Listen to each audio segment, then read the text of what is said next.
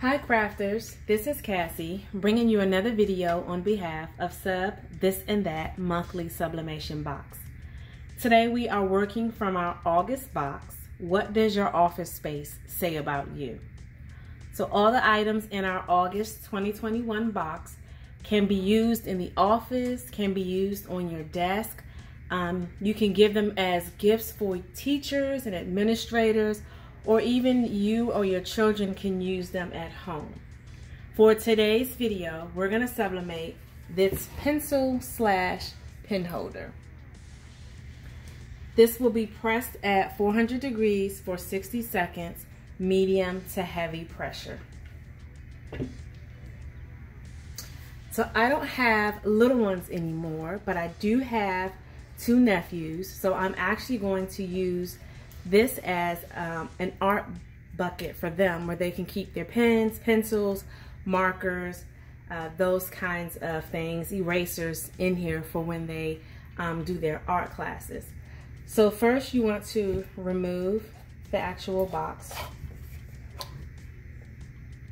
Not remove the box, but remove the panel from the front of the box that you're gonna sublimate on.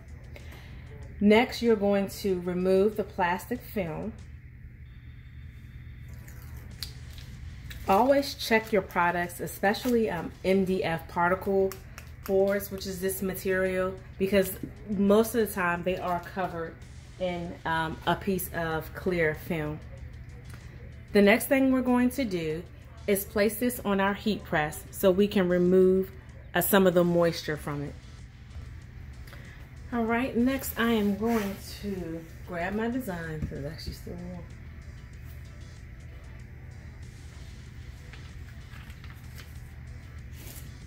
Actually, I'm gonna let this cool off for a second before I tape it down to my design. So I'll be right back.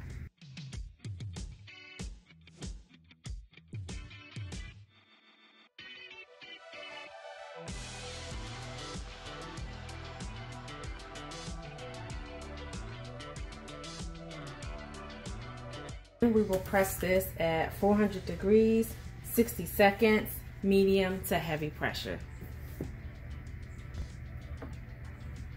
Okay guys, I've taken it off the heat press. It is still pretty warm.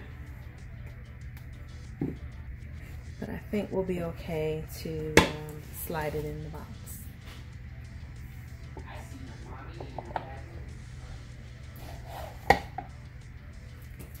There we are. And this came out beautifully.